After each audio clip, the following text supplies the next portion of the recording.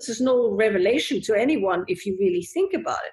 When you first go on a date, what do you do? You go home, you dress yourself, prepare yourself, you're excited, you've made a plan, you have things to talk about, you meet the other person somewhere, you don't fiddle on your phone while they're ordering their food, you're with them.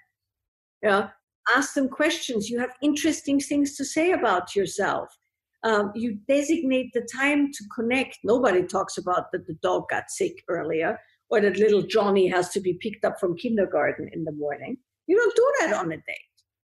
So, why suddenly is it okay to do it with your significant other? Well, because we are meant to believe that a good relationship means a good sex life. And if your sex life is no longer great, the relationship is in question.